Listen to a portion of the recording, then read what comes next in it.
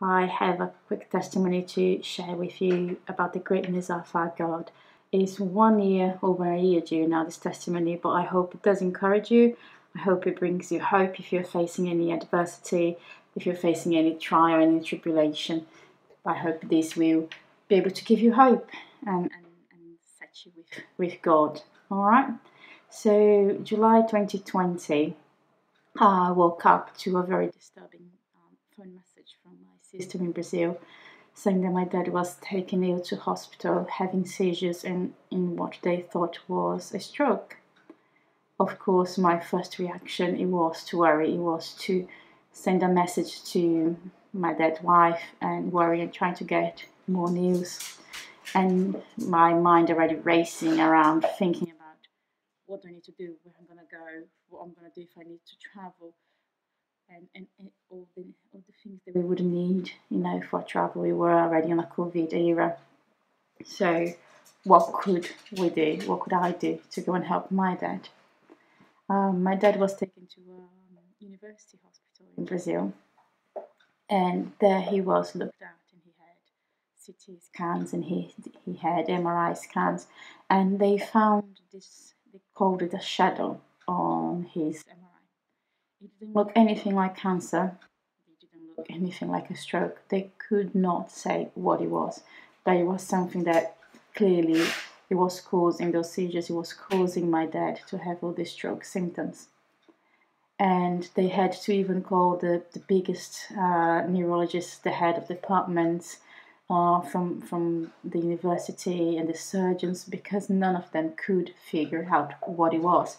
My dad had no history any disease that could have led to that. He didn't have, and he hadn't hit his head, he hadn't had a concussion.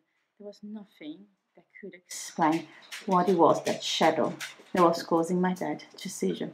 And I do remember that in that time, I started praying, and that's what happened.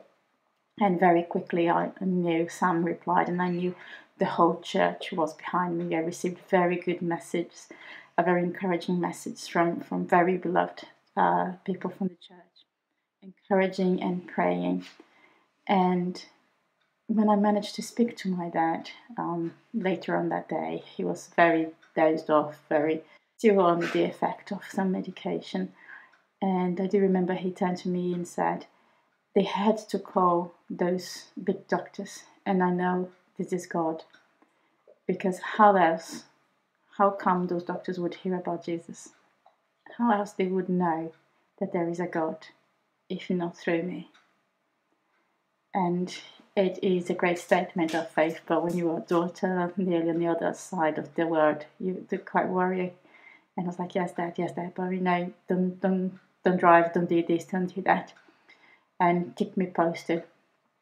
The next scan he went to a couple of weeks later, the shadow still still there. Doctors didn't know how he reduced, but he reduced he didn't have any more seizures. And they couldn't explain it.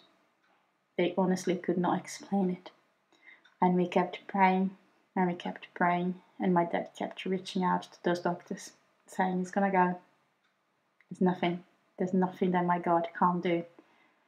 And waited for a bit longer. They do another scan. Then that's gone. Completely gone. There was no more shadow. There was nothing. No MRI, no CT scan could find what they found initially. And that absolutely confused the doctors. They couldn't figure it out. They couldn't figure out. They don't know. They don't know what it was. They don't know what happened. But my dad knew. My dad knew that he was a way for God to reach to those doctors, to reach to those people that maybe no other way they would hear about the love of a God that sent his son to die for us, to save us, to have a relationship with us. In December 2020, my dad was receiving his bill of health from those doctors, saying, We don't know, we can't explain. My dad knew. My dad knew right there and then that there was his mission, that was his time, that throughout his tribulation, the uncomfort, the seizures, the problems he had, that he had a mission. He had to reach out to those doctors. So I hope this encourages you. My dad today is well. He's leading his church.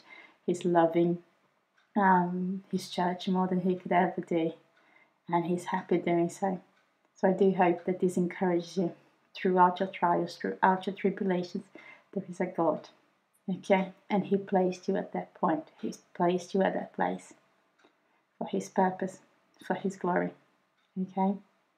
God bless you, church.